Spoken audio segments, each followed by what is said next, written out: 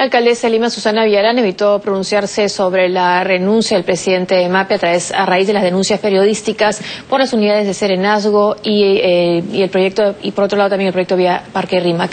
Villarán inauguró el primer centro especializado de atención integral para adolescentes y jóvenes en Lince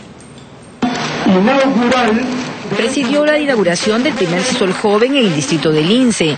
La alcaldesa de Lima, Susana Villarán, dio un breve discurso, develó la placa y se fue dejando varias preguntas en el camino.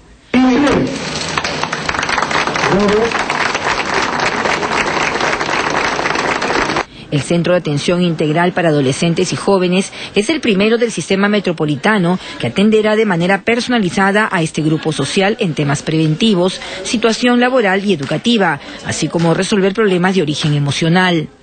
Una ciudad es más humana si se ocupa realmente de manera integral de sus adolescentes y de sus jóvenes, tendiéndoles la mano y diciéndoles, aquí estamos para ustedes. A través de diferentes servicios, este centro especializado tiene el objetivo de atender a 174 mil adolescentes y jóvenes de Lima Metropolitana. El doctor Oscar Ugarte Ubilluz, presidente del CISOL, anunció el inicio de funciones de otros tres módulos CISOL Joven en el RIMAC San Juan del Urigancho y Villa El Salvador. En las primeras